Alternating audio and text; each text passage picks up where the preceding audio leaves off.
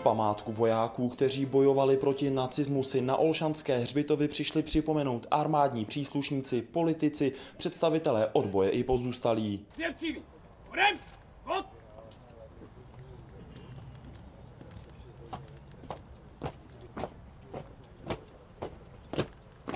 Pětní vzpomínka začala na čestném pohřebišti vojáků zemí Commonwealthu a skončila u hrobu legendárního velitele pražského povstání generála Karla Kutelvašra.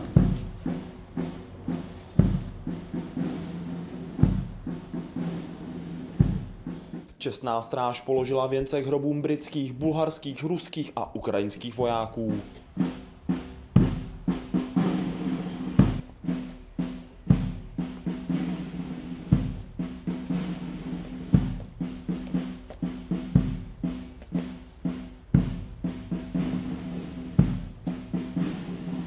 Celonárodní české povstání proti německým nacistům připravoval domácí i zahraniční odboj od počátku roku 1945. Pražské povstání, které vypuklo 5. května, bylo jeho součástí.